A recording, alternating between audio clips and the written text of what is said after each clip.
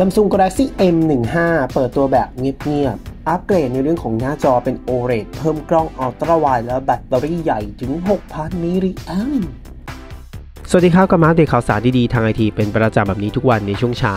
เนเวรา8นาฬิกา30นาทีในข่าวสารดีๆ ทางไอทีครับ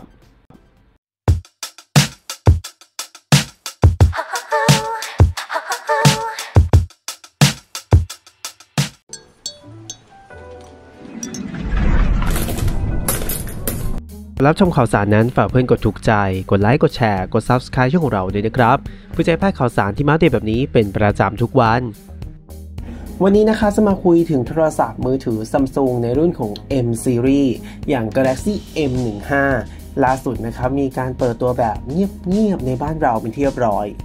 โดยรุ่นนี้มีอะไรน่าสนใจบ้าง มาดูรายละเอียดกันนะครับ Galaxy M14 มีการพัฒนาต่อยอดมาจากรุ่นก่อนหน้าก็คือ M ออภัย M15 ต่อยอดมาจาก M14 โอเค โดยเฉพาะในเรื่องของหน้าจอเนี่ยที่ตอนแรกเป็น IPS LCD ในรุ่นก่อนนะครับ เป็น OLED แล้วเรียกได้ว่ามาเต็มมากขึ้น ขนาดหน้าจอ 6.5 นิ้วให้ความเร็ว Full HD Plus มีอัตรา refresh rate อยู่ที่ 90 Hz เรียกได้ว่าหน้าจอดีขึ้น คมชัดขึ้น แสดงสีสันได้ดีมากยิ่งขึ้น ชิปเซตที่ให้มาในตัวนี้ก็คือ MediaTek Dimensity 6100 Plus พร้อมกับ RAM 4 GB หน่วยความจำ ROM ในตัวเครื่อง 128 GB สามารถเพิ่ม micro SD card เพิ่มได้นะครับ แบตเตอรี่ 6,000 มิลลิแอมป์จุใจตามสไตล์ M series การชาร์จที่เร็ว 25 วัตต์ โดยทำงานอยู่บนระบบ Android 14 ในส่วนของกล้องนะครับ ด้านหลังมี 3 ตัวเลนส์หลัก 50 ล้านพิกเซล Ultrawide 5ล้าน Macro 2 ล้านพิกเซล และกล้องหน้า 13 ล้านพิกเซล Samsung Galaxy M15 มี 3 สีครับ ได้แก่สี Dark Blue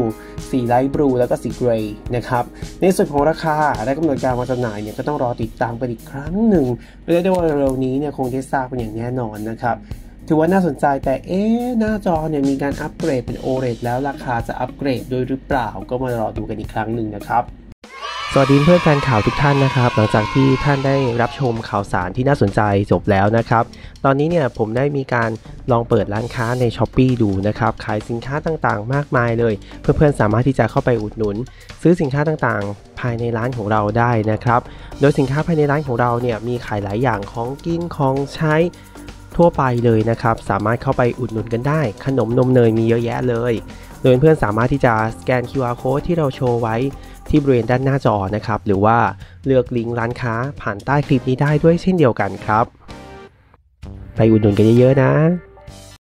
และทั้งหมดนี้แหละครับ ก็คือข่าวสารดีๆทั้งหมดที่เรานำมาอัปเดตกันในช่วงเช้าวันนี้ ก่อนจากกันไปนั้นอย่าลืมกดไลค์เพื่อเป็นกำลังใจให้กันนะครับ กด subscribe เพื่อตามข่าวสารดีๆ รีวิวดีๆ และคอนเทนต์ของเราต่อไปนะครับ ช่องของเรามี Facebook Fanpage แล้วผมทิ้งลิงก์ไว้ใต้คลิปนี้เข้าไปกดติดตามกันได้นะครับสำหรับคลิปนี้นั้นต้องขอตัวลาไปก่อน และกลับมาอัปเดตข่าวสารดีๆแบบนี้กันได้ใหม่เป็นประจำในพรุ่งนี้ สวัสดีครับบ๊ายบาย